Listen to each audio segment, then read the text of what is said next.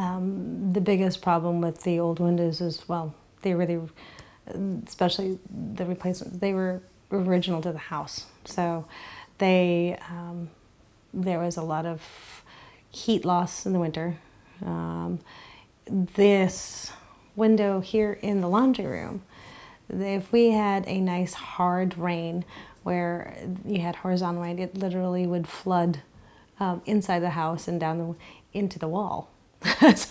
and the windows were closed. So yeah, there was a, uh, that was a leak issue.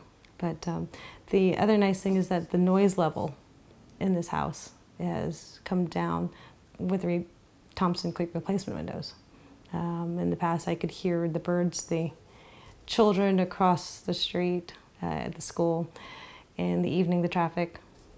So it's the sound level has uh, significantly been reduced. And um, we can also tell by the efficiency of the windows, um, our latest electric and uh, heating bills, so have come down. Extremely friendly, um, very, very customer oriented.